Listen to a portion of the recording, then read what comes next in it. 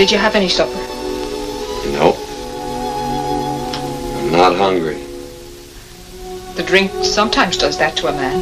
I haven't had anything to drink. If you want to know, I was talking to the vicar, Mr.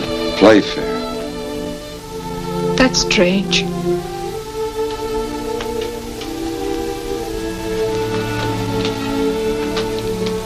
I had a long talk with Father Lonergan.